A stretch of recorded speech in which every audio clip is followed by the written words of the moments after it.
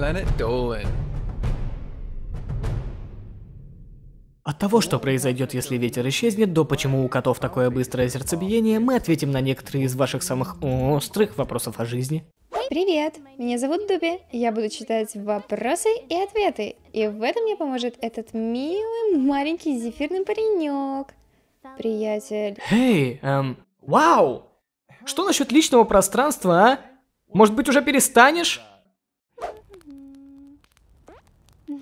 Чё, чё ты там делаешь? Нет, нет, не готовь меня. Не, нет, нет, нет, не надо, не ешь меня, Дупи. Нет, нет, нет, нет, нет, не надо, Дупи. Ммм, вязко. А, я не должен был этого знать. Что произойдет, если ветер внезапно исчезнет? Все птицы, прям все птицы упадут с небес. Мелисе пришлось бы ходить на работу или садиться на автобус, как нормальному человеку, и ездить со всеми этими автобусными чудаками. Эй, я езжу на автобусе на работу, и я абсолютно нормально. Спасибо большое. Ах да? Просто глянь на себя. Ни оперения, ни рогов, какая-то мягкая кожа. Ты самый, самый странный и чудной человек здесь. А... О, боже, ты прав. Я самая странная здесь. Это нормально, Дуби. Никто здесь даже и не подумал бы о том, чтобы относиться к тебе по-другому из-за твоей внешности. О, спасибо, Долан. Чтобы ветер исчез, не должно быть разницы давления в давлении воздуха по всему миру. Однако, если бы ветер прекратился, не было бы изменений температуры. В некоторых местах было бы очень холодно, а в других очень жарко. Дождь будет только рядом с водой, поэтому большая часть планеты высохнет, так как нет ветра для транспортировки дождя. Чили Дога спрашивает на Патреоне. Какой день люди, рожденные високосный год, официально взрослеют в обычном календарном году? Мы называем их дети-високосники. Они не празднуют день рождения. На самом деле, они даже не выходят из больницы. Любой родившийся 29 февраля остается там, вырастает и становится доктором или хирургом. Они существуют только для помощи в рождении нормальных детей, таких, как мы. Эй, я родилась в високосный год. О, о, как же удобно! Так просто случилось, что ты родилась в високосный год. А как раз мы тут говорим об этом. Ой, знаешь, я, я хочу увидеть доказательства. Не поверю на слово, хочу увидеть свидетельство о рождении или хоть что-то официальное. Какую-нибудь справочку. Большинство стран не имеют законов, которые указывают, когда возраст високосников юридически меняется в течение невисокосных лет. В Великобритании, Англии и Уэльсе, а также Гонконге, ваш законный день рождения 1 марта, а в Новой Зеландии, чтобы получить водительские права, указывает 28 февраля. Джош Макнайт спрашивает, сколько новых видов находят каждый день? Нисколько. Мы уже все нашли, теперь они выдумывают всякую ерунду. Хелбенд рассказал мне о Бронтохолосососарусе? Да, динозавры. О да, конечно. Они настоящие. Тош, да он, это сделано из маршмеллоу. Я не знаю виды подобные этому. Тише. Високосный ребеночек. Откуда ты берешь мою плоть? В течение года обнаружится от полутора тысяч до 1800 новых видов растений и животных, что составляет около 4-5 новых видов ежедневно. За последние 250 лет ничего сильно не изменилось, потому что многие из этих животных для нас выглядят одинаково, но оказывается, что они отдельные виды.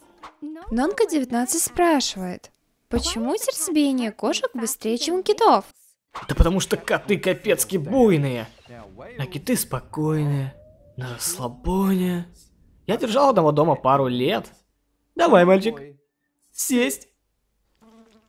А, он просто отдыхает. У кошки более быстрое сердцебиение, чем у голубого кита, потому что чем меньше животное, тем быстрее будет сердцебиение. Голубой кит является самым крупным животным, поэтому кровь внутри него путешествует намного дольше. Кошки, наоборот, относительно невелики, и поэтому у крови не уходит столько времени, чтобы пройти всю систему. О, боже, Долан! Зачем ты притащил этого мертвого кита? Верни ты его уже в море! Он просто давно не принимал душ, не рань его чувства. От него разит, как от гнилого сыра. Вообще-то, это аромат самца. Hive Puff Production спрашивает, почему коралл это животное? Ты думаешь, что эта штука — это животное? Да, конечно. Удачи тебе в его дрессировке. Да это ж просто хренов камень. Чё? Это, это просто произошло? Это, это все меняет. Мне надо подумать об этом. Итак, Долан, ты сделал какие-нибудь открытия? Оу, Дупи, глянь на это. Я обнаружил. Я математически доказал. Я объективно установил, что... Мне плевать.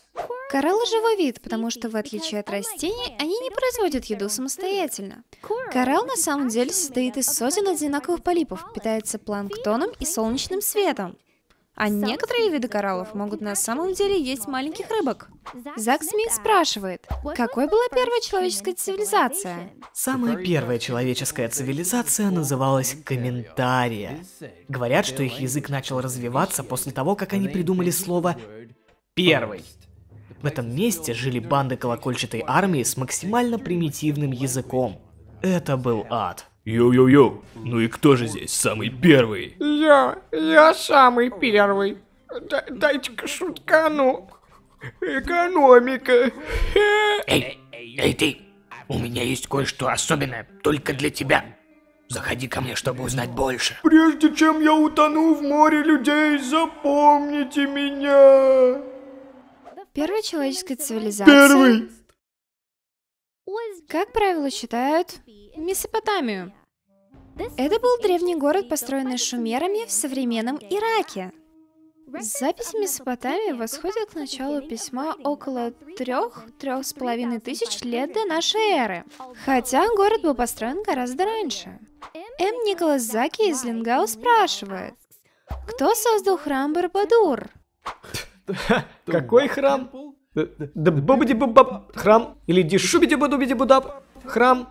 О да, такое трудно выдумать. Погоди, а тот самый Бронтохолос Сосару случаем не отсюда?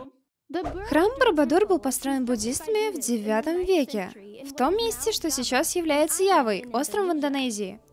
Хотя Индонезия в основном исламская страна, она была построена династией Салендра, которая возникла на юге Индии. Ким Мередит спрашивает, откуда произошла идея письма? Мало кто знает, но ручка на самом деле была изобретена прежде, чем придумали письмо. Ее создатель потратил долгие часы, думая, «Хе, Что за хрень? Что, что я вообще буду делать с этим? Что я должен делать с этой чернильницей? Что я буду делать? И, ребят, вы никогда бы не догадались, что первым написанным словом было... Нет. О, нет, нет, нет. Я знала это. Считается, что идея письма также началась в Древней Месопотамии, вместе с рассветом первой цивилизации. Письмо, называемое клинописью, было разработано как практический способ записи транзакций. По мере роста городов им нужна была общая форма общения, чтобы вести учет, регистрировать законы и другую информацию. Джулия Рейн спрашивает, какой самый старый автомобиль? Знаете, в старые добрые времена вы бы ездили на вершине бревна или гигантского валуна, до тех пор, пока он катился бы с горки, конечно. Вы могли бы достигнуть колоссальной скорости в 2 мили в час. Или были бы раздавлены. Это звучит очень опасно. Не, ну, когда у вас нет машины и как-то надо быстро добираться домой, знаешь ли, трудно быть придирчивым. А теперь прошу меня извинить, мне надо на важную встре... Француз Николас Джозеф Кагнот построил первый автомобиль с паровым двигателем в 1770 году.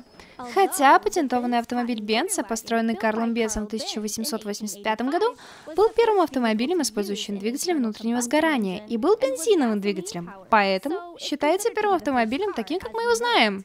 MLB Sapphire Heart спрашивает, почему зубы желтеют, если не чистить их? Твои зубы пожелтеют, если не будешь чистить их. Это ж просто. Если не чистить их, у вас появятся зубные боли, и зубы начнут гнить. Хуже, это распространится на ваше лицо, и оно отвалится. Ваше лицо отвалится. Да, и вам придется держать его в вазе. А тем хирургам-високосникам придется взять ваше отпавшее лицо и вернуть его обратно на череп и пришить зубной нитью. И еще хуже, ваши зубы могут выпасть. Да! Да! Да! Мне надо почаще чистить зубы. Да, мне тоже. Ваши зубы желтеют, потому что бактерии скапливаются на внешней части зуба, называемой эмалью, которая в нормальном состоянии белая. Определенные продукты и напитки окрасят эмаль, если вы не будете поддерживать хорошую гигиену зубов и диету. Эй, ребят, а не мог вас случайно не подслушать, пока вы тут орали о чистых зубах? Хотите сделать отбеливание? Да, вот именно. Да, очень хотим. Хорошо, сейчас будет. С вас по 50 баксов, сучки.